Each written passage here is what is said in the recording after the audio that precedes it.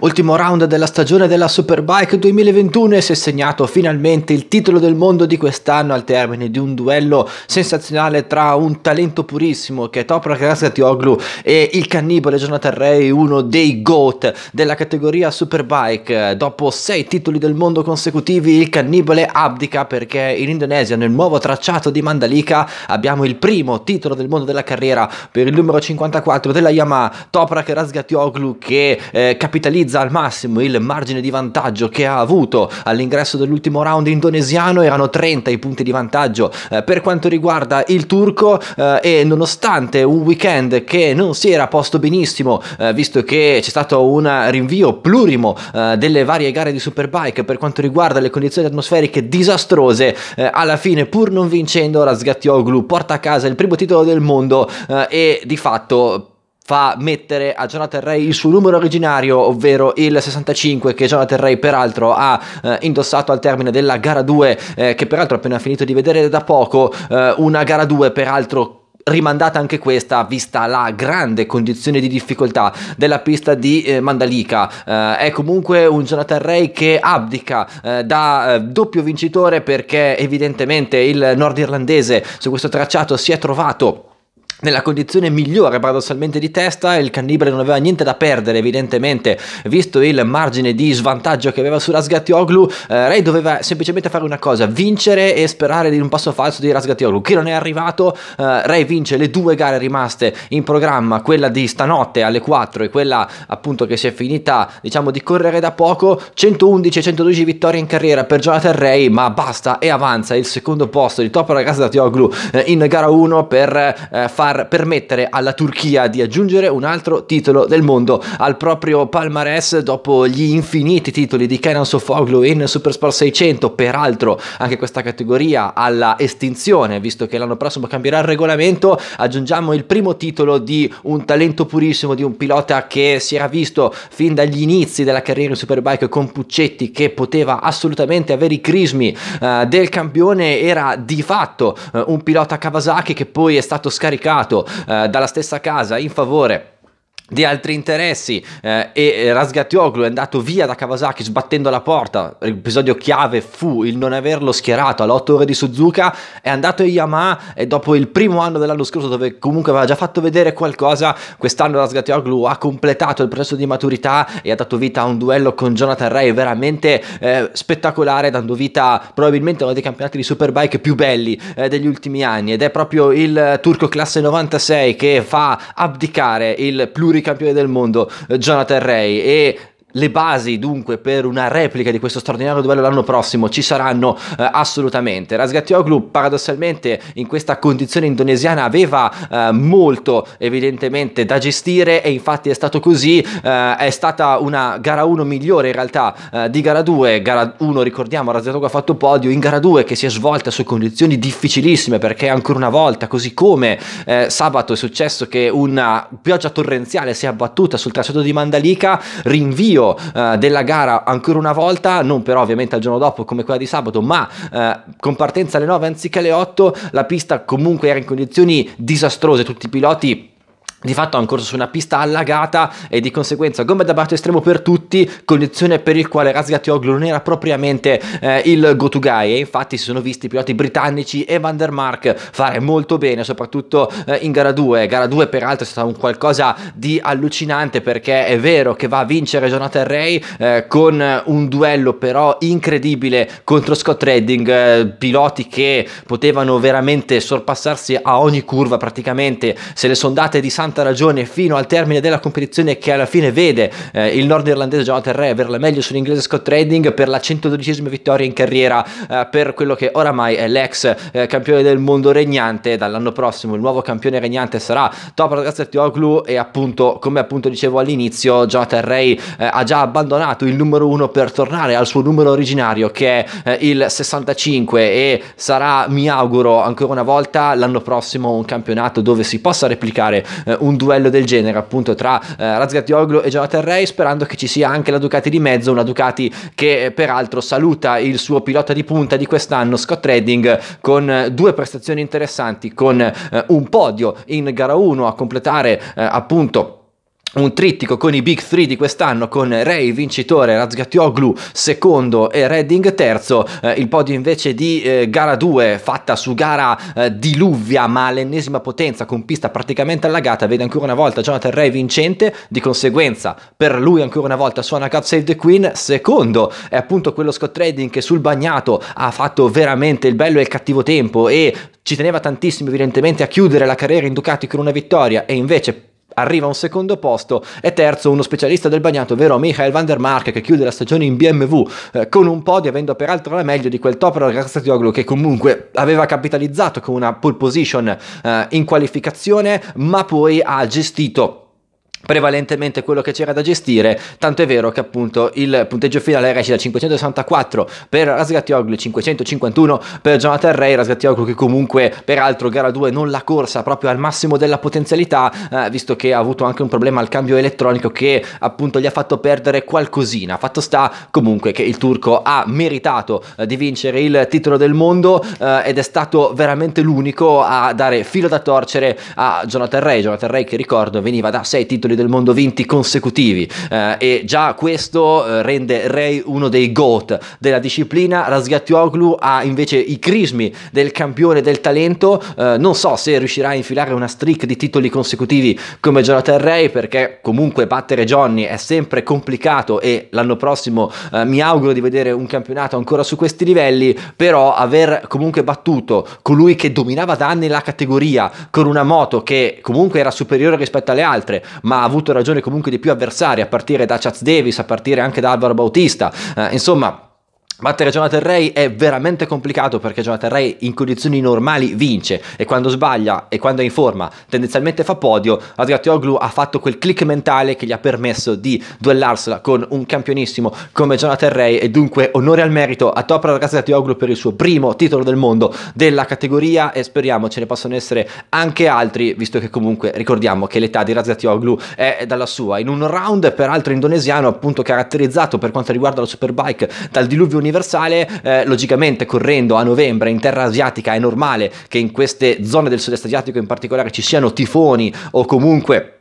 piogge torrenziali che impediscano eh, lo svolgimento regolare delle gare, eh, tanto è vero che appunto è stata annullata la sprint race per tornare al vecchio format di una volta, quindi con due gare lunghe. Eppure, nonostante la pioggia, il circuito di Mandalika ha tenuto alla stragrande perché eh, i piloti di testa, in particolare Ray e Redding in gara 2, eh, hanno corso in 6 secondi più lenti rispetto all'asciutto, che è un qualcosa di straordinario, ok? Che Ray e Redding sul bagnato sono dei mostri assoluti, ma è anche segno che questo nuovo impianto, perché è stato costruito veramente da pochissimo, eh, ha avuto una resa mostruosa nel tenere l'acqua, cosa che magari su altre piste anche europee eh, si fa evidentemente più fatica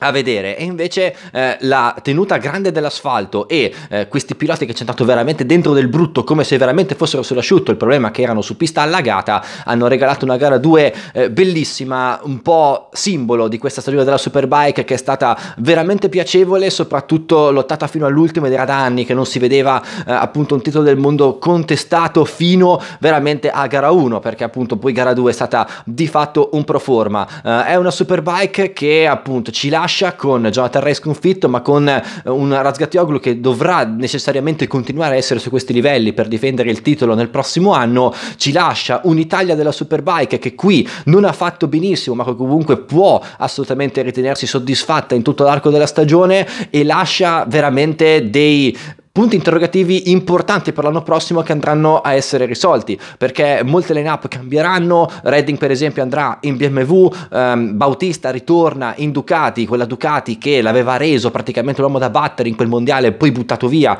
contro Jonathan Ray quantomeno per la prima metà. Uh, i nostri ragazzi italiani potranno crescere ci sono Tante combinazioni interessanti, eh, è una superbike che secondo me ha del talento su cui investire e lo vedremo ovviamente anche l'anno prossimo quando presenteremo da capo la stagione 2022. Eh, è stata veramente una gara di Mandalika per quello che ho visto, io sono riuscito a vedere eh, gara 2 e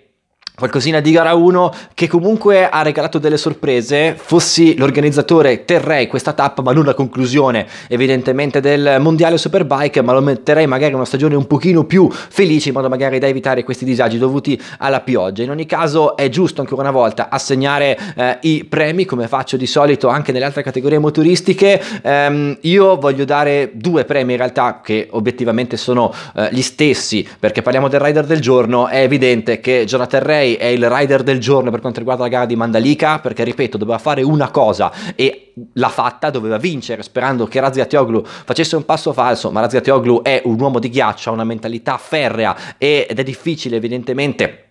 da scalfire anche da questo punto di vista e di conseguenza anche Razgatioglu per come doveva gestire la gara e co- per come appunto è riuscito a farlo si merita. Evidentemente anche lui ex equo il rider del giorno ma Razgatioglu e Ray secondo me sono i rider della stagione. Hanno tenuto in piedi un mondiale veramente sensazionale. Peccato che Redding abbia buttato via più gare del previsto altrimenti sarebbe stato un mondiale conteso addirittura a tre eh, e chissà se con il ritorno di Bautista con la Ducati V4R Panigale ci possa essere addirittura addirittura appunto una sfida con tre contender anziché con soltanto due, per quanto anche avere due contender che si sfidino dalla prima all'ultima gara è evidentemente qualcosa di eh, molto molto interessante. Per quanto riguarda gli altri risultati e andiamo eh, ai piloti di casa nostra, abbiamo detto tre italiani in questa competizione, Locatelli eh, conclude quarto in gara 1, segno che comunque anche lui con la seconda Yamaha ha completato un processo di crescita molto interessante dunque Locatelli può secondo me per l'anno prossimo diventare un pilota da podio visto che ha un anno di esperienza in più più, eh, purtroppo meno bene sul bagnato e Locatelli qui purtroppo è una mezza delusione secondo me, eh, visto che di solito sulle condizioni di bagnato il pilota bergamasco è sicuramente più competitivo, eh, Rinaldi non fa una bella prestazione purtroppo, finisce ai margini diciamo della top 10 in gara 1 con la seconda ufficiale, poi anche lui fa fatica per quanto riguarda la gara 2 sul bagnato e finisce purtroppo per terra e si stende eh, Axel Bassani eh, non riesce eh, a capitalizzare gara 2 ma fa una straordinaria gara 1 segno che Bassani probabilmente si meriterà eh, il premio di rookie dell'anno la sorpresa più incredibile di questa stagione. Bassani corre con una Ducati eh, clientissima team motocorsa e quando farò il pagellone settimana prossima Bassani si prenderà un voto altissimo perché evidentemente ha fatto evidentemente una gara straordinaria eh, e l'ultimo italiano che ha corso in questa competizione erano quattro. In realtà è Samuele Cavalieri che con la Ducati del team Barney chiude la stagione con una doppia quattordicesima posizione comunque eh, più che onesta considerato che appunto la prima parte della stagione l'ha corsa con una moto stock e poi ha dovuto riambientarsi una moto che comunque già conosceva. Eh, in ogni caso il concetto non cambia, è da un po' di tempo che dico che l'Italia della Superbike ha tre piloti su cui puntare tantissimo, sono evidentemente Locatelli, Rinaldi e Bassani, eh, l'anno prossimo ci sarà anche Luca Bernardi eh, in Superbike che dovrà puntare a fare un anno di esperienza, di crescita per poi evidentemente eh, concretizzare i prossimi anni, anche se Luca Bernardi in realtà è un pilota di San Marino, ma comunque eh, strasimpatico ce lo godiamo e ce lo teniamo stretto. Il buon Luca eh, è anche la giornata peraltro della Superbike che saluta ehm, appunto oltre che i piloti che cambiano team, eh, piloti che si ritirano dalla Superbike. Ed è stata questa, quella di Mandalika, l'ultima gara in carriera del Dragone, Chad Davis, uno dei piloti che mi ha fatto sinceramente innamorare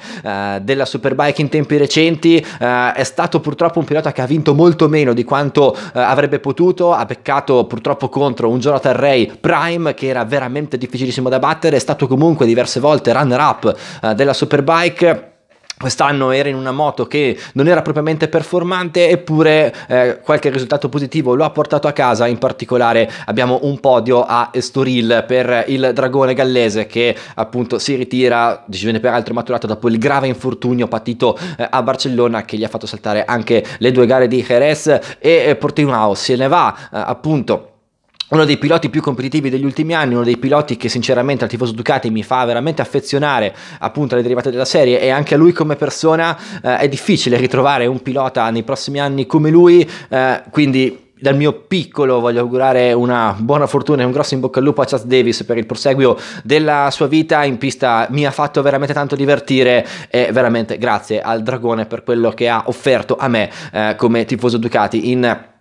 tutta la sua grande e eh, generosa carriera. Una superbike che dunque ha chiuso i battenti dopo 13 round, una superbike che tornerà l'anno prossimo, così come la Supersport di cui dobbiamo parlare perché è vero che il titolo del mondo in questa categoria era già stato assegnato, ma dobbiamo celebrare la prima vittoria della carriera per Raffaele De Rosa che in una gara incredibile eh, sull'asciutto in questo caso, eh, prima che la superbike al sabato venisse rinviata a meglio di eh, Dominic Gerter, il campione regnante di categoria, eh, involata in una gara pazza dove De Rosa aveva mostrato un passo mostruoso all'inizio in una gara incredibile che va a bagnarsi pian piano, poi la pista che appunto abbiamo già detto ha un drenaggio molto importante, tiene, la pista si asciuga e Gerter recupera mezzo secondo al giro su lui e Caricasulo che hanno fatto una gara veramente eh, importante, si gioca la volata all'ultimo giro, De Rosa ha la meglio in un ultimo giro stoico e resistente, taglia il traguardo per prima e fa risuonare il canto degli italiani per la prima volta,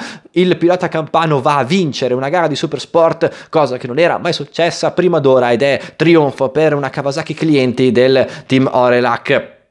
che dunque fa salire Raffaele De Rosa eh, in settima posizione totale in classifica di campionato. De Rosa poi concluderà quinto una gara 2 che invece vince Jules Cluzel per cui suona la marsigliese, uno Jules Cluzel che aveva capito abbastanza poco eh, in gara 1 pur partendo eh, dalla retrovia della classifica invece si riscatta la grande nella seconda competizione, seconda posizione per Niki Tuli che eh, conquista il terzo podio della stagione al termine però di un 2021 disastroso, comunque molto difficile con la MV Agusta e poi il campione del mondo in carica Dominic Gerter eh, chiude con un altro podio, terza posizione per il dominatore assoluto di questa categoria che peraltro l'anno prossimo, seppur con regolamento nuovo, rimarrà in questa categoria in Supersport 600 per difendere il titolo che qui eh, è stato ampiamente meritato in una categoria di cui eh, ci sarà molto da cui parlare e di cui io avrò molto interesse perché cambierà tantissimo il regolamento dell'anno prossimo, ma lo vedremo anche qui nella presentazione che succederà l'anno prossimo in primavera. Mentre per quanto riguarda